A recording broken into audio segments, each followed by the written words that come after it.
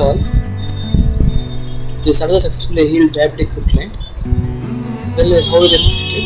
Let's see the already great to amplitude outside, but uh, infection is still spreading. Patient uh, positive surface. And uh, subsequently later to second to candidate also. So patient uh, came for uh, second opinion examiners.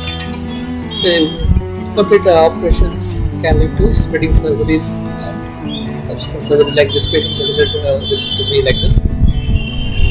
So uh, proper debridement to see the nice uh, shrinkage in the size of the swelling of the foot and the discoloration and the bogness, everything has been gone.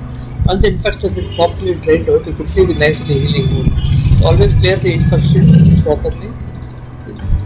So meet a specialist doctor, get it treated as soon as possible. Thank you.